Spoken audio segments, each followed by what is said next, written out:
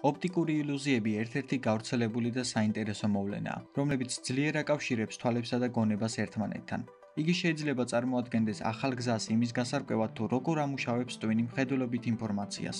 ოპტიკურ ილუზიებს დიდი ისტორია აქვს არსებული ილუსტრაციების შეუძლებელ მოვლენებად ქცევაში.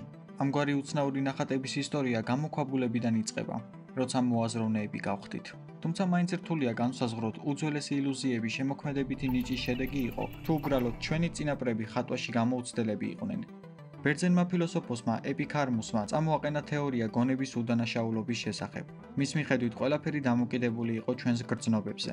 კიდევ ერთმა ფილოსოფოსმა პროტაგორამ კი თქვა, რომ გრძნობებს არაფერი აკავშირებს ინფორმაციის მიღებასთან.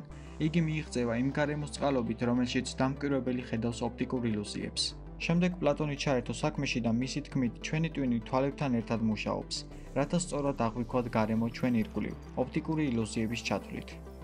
დღესდღეობით სამი სახის ოპტიკურ ილუზიებს ხვდებით: ფიზიკურს, რომელიც გამოწვეულია ნამდვილი გარემოთი, ფსიქოლოგიურს, იგი გონებაზე გავლენას ახდენს შიკაშკაშის ან ფერის ცვლილებით, მოძრაობით ან გეომეტრიულად ჩახლართული შესახედაობით. და შემეცნებიც. იგი სურათებით პარადოქსების შექმნას გულისხმობს. მაგალითისთვის, როგორებიცაა ეს შეუძლებელი ნახაზები. თუმცა რატომ მოგწონს ამგვარი უცნაური რაღაცები, რომლებიც ჩვენს ტვინს ატყუებს? ოპტიკური ილუზიების ხელოვნება მდგომარეობს ლოგიკური პროცესების ცვლილებასა და ახალი ელემენტების შექმნაში, რომელთა არსებობა ნამდვილ სამყაროში შეუძლებელია მისი კანონებიდან გამომდინარე.